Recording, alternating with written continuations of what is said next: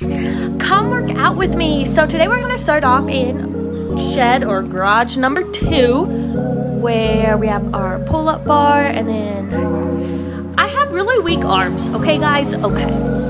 But I also like working on my flexibility as well as strength, so yeah, and then if I fall on my head, that would be terrible. But you know, um, YOLO, I guess. And then we're gonna be doing some splits and stags while hanging on to it, and then we're gonna work on my grip strength. I do a lot more than what's videotaped, but like I don't want to bore you guys. I have like over 10 minutes of footage, and that's like obnoxious. Anyways, we're gonna do some curl ups and some squats holding this five pound weight, and yeah, I don't know why I put that clip in there. And then garage number one, we're gonna do my gymnastics. I'll probably be doing more later with ankle weights, but I just wanted to have some fun then. So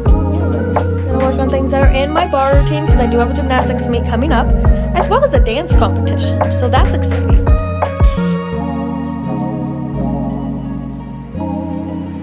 Anyways, um,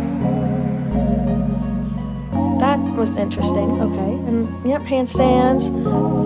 Apparently, I don't stick those often because I got way too excited.